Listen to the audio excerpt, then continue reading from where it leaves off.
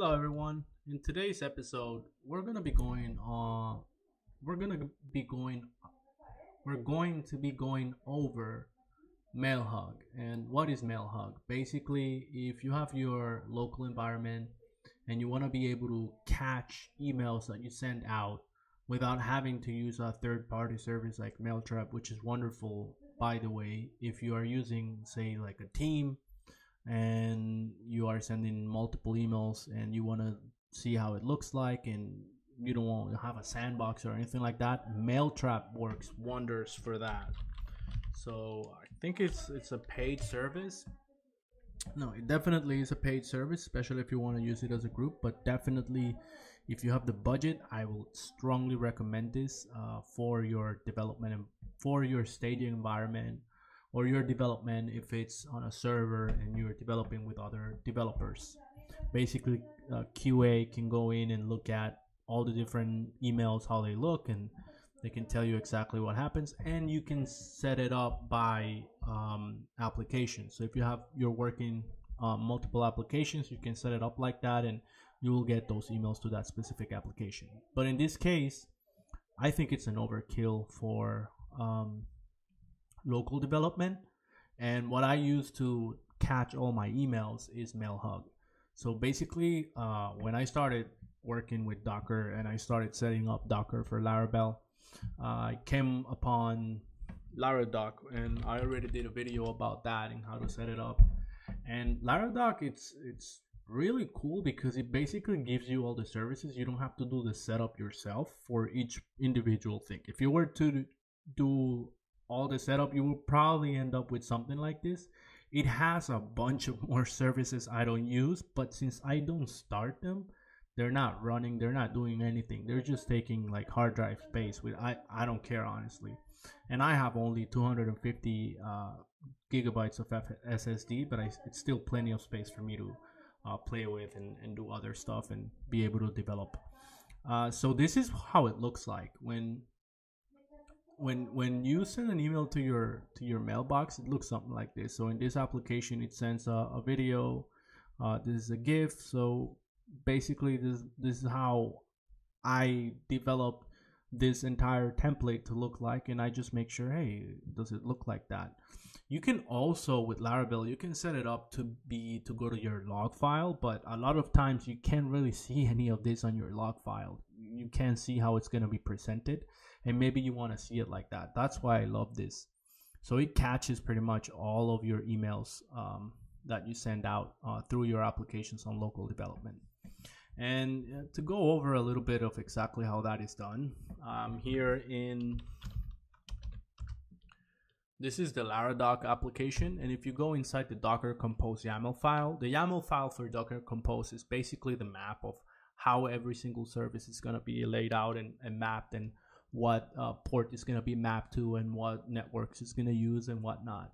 So that gets deeper into Docker itself, but just to give you a brief overview, if you look at if you look for MailHog, we can see that MailHog right now it's mapped to internal ports 1025, 1025. So inside Docker is 1025, in your host is 1025, and then the mail ser- the the web service, what we actually just looked at, is 8025, 8025. So that's basically uh, what is showing. If, if I go if I go back, show you here port 8025 on localhost. That's where it's being mapped to. So that's how it's mapped, and it's also mapped on the network's front end and back end. So it runs on the front end, and then the back end obviously is like MySQL, like some of the back end services that you you need, you know. So in that case, it's using both because you need a, a setup for the internal sending of the emails, and then a setup for you to look at the emails. So that's why it's using front end and back end. So now I'm gonna be setting up a um, notification with Laravel to show you like a, a, brief example. I thought making this first and then actually just have you uh, look at it, but I kind of got a head start and I said, you know what, let me just live code it so they can see exactly how I can do it, how, how I do it. Uh, so now I'm inside my Docker container right here. So if I go out, I can go back uh, with uh, docker compose exec workspace bash and that's going to take me right into my container I'm gonna go and find because I have multiple uh, websites, and again, I showed you this in a previous video. I go inside Playground, and then from Playground, I can get to I can get into Laravel. So I use Art. Uh, that's just an alias I have in, in my system, but PHP Artisan, and then we're gonna be making a controller. And the controller's name is going to be the same one that we have over there. Actually oh I didn't copy that. Form submission controller so I can just type it out. Form submission controller so now it's gonna make this controller. Now I should be able to go inside and look for that controller in the system. It's right here. And I mapped it to the store uh, method. So if I do store store is going to take a request. And I'm not be I'm not going to be doing any validation or anything like that. I can show you another video where I can show you how to use uh, some of the request classes in, in WordPress in WordPress in Laravel uh, I work a lot with WordPress as well so that's why I mentioned that like a lot of my work at work I use WordPress and Laravel so uh, I love Laravel way more than WordPress, by the way. But here, it is what it is. So we are at the store. You see, I just wanted to show you that that's where I'm mapping that. And submit form, that's gonna be an action that's gonna be on my component. So I've already went ahead and created a component. Let me hide this and then you can see that this is the playground that I've been using for all the other videos. So inside my components directory, I created an email sender and then inside the email sender I am setting up this form class and I, I can go a little bit about it uh, a little bit on about it on it so you can see exactly how what it is and how it works um, so it's submitting there's a form post and then I'm doing submit form and that's how it's connecting it over to the submission right here. So what I'm gonna do uh, is just return. Usually you will do something with it, like you will do like, hey, um, do store it or or whatever it is. That's more out of the scope of this video, but definitely I'm just kind of like going briefly over it. But definitely, actually, just we'll just data. It's already mapped, so I'll just do that's gonna return an array right there. So I'm just gonna return it right out, basically. And then I'm getting it here. I'm gonna do a console log. And I'm not sure why it's giving me an issue, but let's just start doing the form. So I know that in Bootstrap, you'll do form group to set up like a field. And then you do label. The label, uh, it's not really that. I'm gonna have a name and I'm gonna have a message the name is gonna be an input the input is gonna be of type text and I'm gonna v model that. So I'm gonna bind the model to the form dot name. And just kind of copy that. Type text yep. And then the message is to be a text area. The v model for that I don't really need a lot of this stuff. And this is uh, just doing like a, a quick you know form. Usually I will go in and add the IDs and add all that and that's what this is telling me right now. It's like hey you need to add I have it set up so that it does that. It's like hey you need you need a missing associated label so I will go in and do some of that when I do my code cleanup but this is just a like I said before just to show you a little bit of how how it works and then let's go create another form group. Uh, one other thing that we need over here is uh, make it a form control. So that it has that nice uh, full width you know that bootstrap comes with out of the box.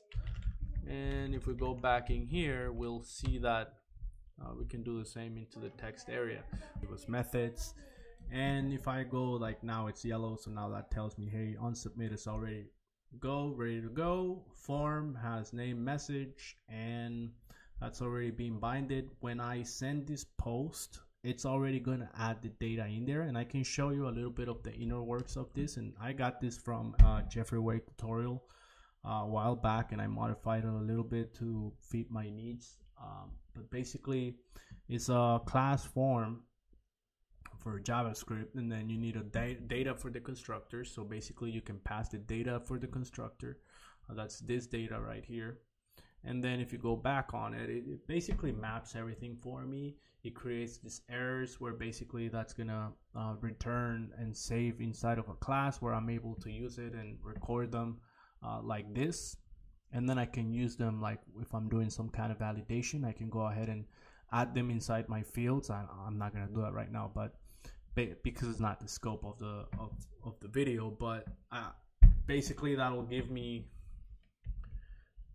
display me like if it has errors so I can go and do um, has you know so I can be like hey do you have an error?